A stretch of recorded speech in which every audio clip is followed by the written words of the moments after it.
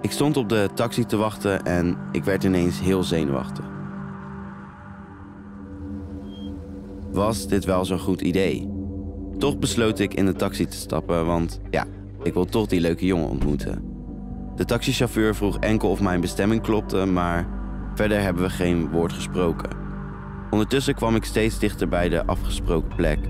De muziek stond aan, maar ik hoorde eigenlijk alleen mijn eigen hartslag verhogen. Ik kon alleen maar nadenken over het moment dat ik mijn date zou gaan ontmoeten.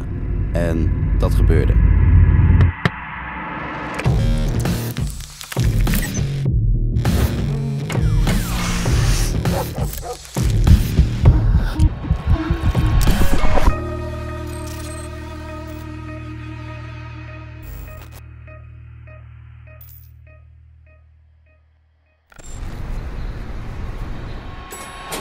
Vorige week zagen jullie hoe de introductie met datingapps is als jong en queer.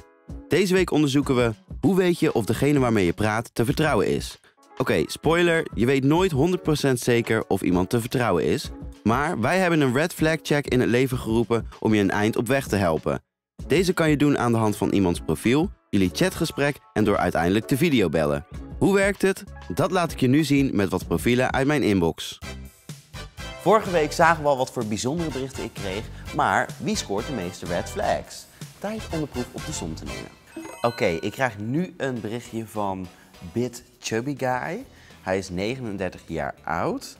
Ehm, heeft wel informatie over hoeveel hij weegt, hoe oud hij is, eh, welke huidskleur hij heeft. Maar wil verder niet laten zien op zijn profiel hoe hij eruit ziet. Ehm, eigenlijk alleen maar foto's van een landschap. Dus voor mij is dat een red flag. Waar heb je zin in? En dan een foto van zichzelf en een foto van zijn lul. Oh, hij wil afspreken. Ehm, waar zou je willen afspreken? Hij zegt, kan bij mij thuis. Oké, dat is wel echt een red flag. Nooit doen. Oké, Chubby Guy heeft nu een rode vlag op zijn profiel. Eentje in de chat. Dan gaan we nu kijken of hij er ook een krijgt tijdens het videobellen. Oh, wat erg dit. Ik wil echt niet met iemand gaan videobellen. Oh, Bit Chubby Guy belt. Hij belt me gewoon via Grindr. Hey. Alles goed? Vind je niet spannend? Ik vind het wel een beetje spannend hoor. Eh, ja, één keer. Maar dat, eh, toen, zag, die- toen zag degene er niet uit eh, zoals ik dacht dat hij eruit zag. Dus daarom dacht ik, laat ik toch maar even bellen. Hij heeft opgehangen. Had hij door. Maar dit is dus wel de man wie die zei dat hij was. Bit Chubby Guy gaat op groen.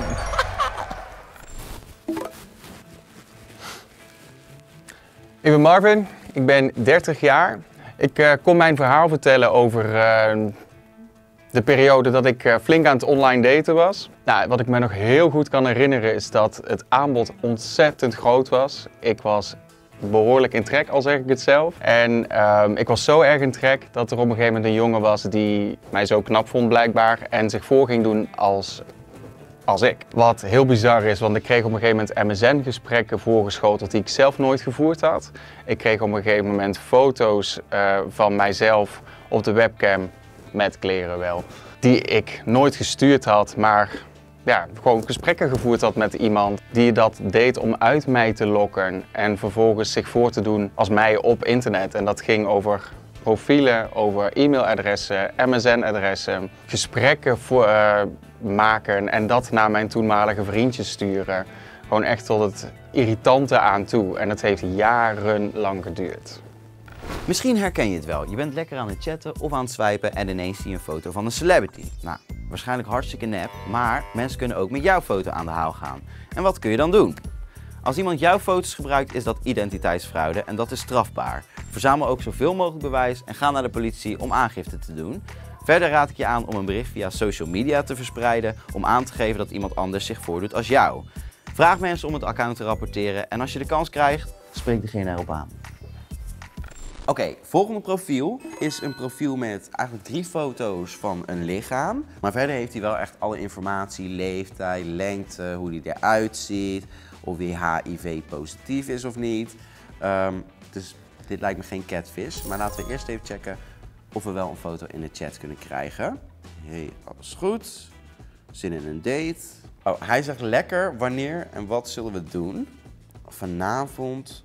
En waar kan je meeten? Hij zegt, kan bij mij. Nou, dat is wel echt een red flag.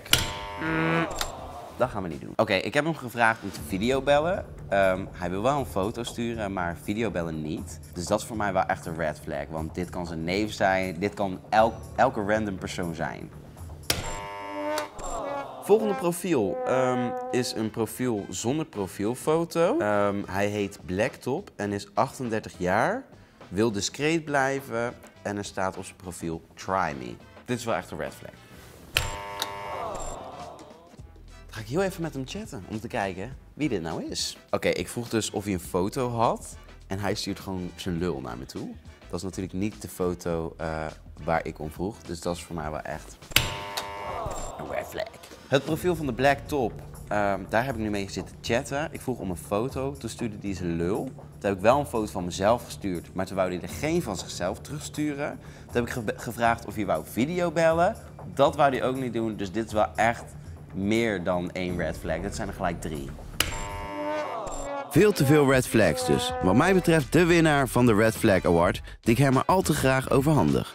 Dit wordt vervolgd. Ben jij benieuwd hoeveel red flags jouw online match scoort? Check dan even de link in de beschrijving. Daar hebben we een uitgebreide red flag checklist voor je klaarstaan. Je wilt op date gaan, maar hoe doe je dit dan zo veilig mogelijk? Mijn twee belangrijkste tips zijn je locatie en je gevoel. En met locatie bedoel ik, spreek ergens af waar je altijd nog weg kan gaan als dit nodig is. En stuur je locatie het liefst door naar een vriend of vriendin. Met je gevoel bedoel ik, vertrouw op je intuïtie. Voelt de afspraak vooraf, bij de ontmoeting of tijdens de date niet goed? Wees dan eerlijk en geef dit aan, want jij bent de baas over jouw acties.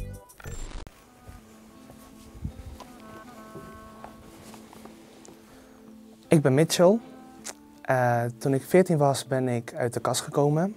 En eh, toen zocht ik heel erg eh, naar vastigheid en een relatie en ik wou mezelf ontdekken. Toen ben ik begonnen met zoeken naar een ideale datingsapp. Toen vond ik Badoo en daar heb ik toen een jongen leren kennen. Die jongen was super attent, super lief, eh, zorgde voor me. Ik kon alles met hem delen. Eh, het leek net alsof ik hem mijn hele leven al kende. En hij gaf me ook een fijn gevoel. Altijd als ik verdrietig was, kon ik bij hem zijn. En hij belde me ook regelmatig. En op een gegeven moment wou ik hem ook zien. Maar hij had geen camera of hij zei dat zijn telefoonstuk was.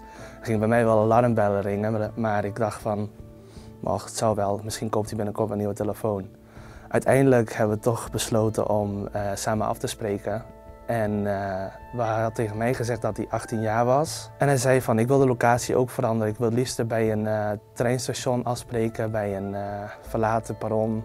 Uiteindelijk bij het perron stond ik te wachten en op een paar meter afstand stond ook een iets oudere vent, kerel, ja, man boven de 35 geloof ik. En op een gegeven moment, ik wil weggaan en die man spreekt mij aan. En mijn eerste gedachten waren, oh man, dat kan misschien zijn vader zijn. En uiteindelijk uh, zegt hij, ja, ik ben de jongen waar jij al die tijd mee hebt zitten praten. En toen ben ik een paar minuten stil blijven staan om het even te beseffen. En op een gegeven moment ben ik met woede ben ik weggerend en ik heb hem gewoon daar laten staan. En na die afspraak heeft hij mij ook heel vaak nog geprobeerd te bellen, te appen, contact op te zoeken. Maar ik was er gewoon niet klaar voor en ik wou het ook niet beseffen dat die persoon met wie ik aan praten was niet echt was.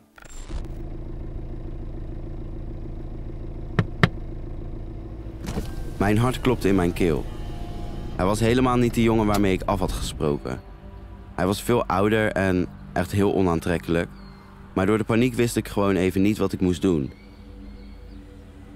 Ik liet ondertussen alles om mij heen afspelen en het voelde gewoon alsof ik in automatische stand ging. Wie is dit en waar ben ik in godsnaam? Toch ging ik mee naar binnen en toen het slot in de deur viel, realiseerde ik mij in welke situatie ik was beland. Oké, dus hoe weet je of iemand te vertrouwen is? Helaas blijft het altijd bij Russische roulette. Maar met een red flag check kun je al een heel eind komen. Vermijd iemand je serieuze vragen? Durf diegene niet in het openbaar af te spreken? Of is het allemaal too good to be true? Dan is het dat waarschijnlijk ook. Lekker verder swipen dus. Wat als iemand de red flag check heeft doorstaan en je wilt met diegene op date? Deze vraag beantwoord ik volgende week.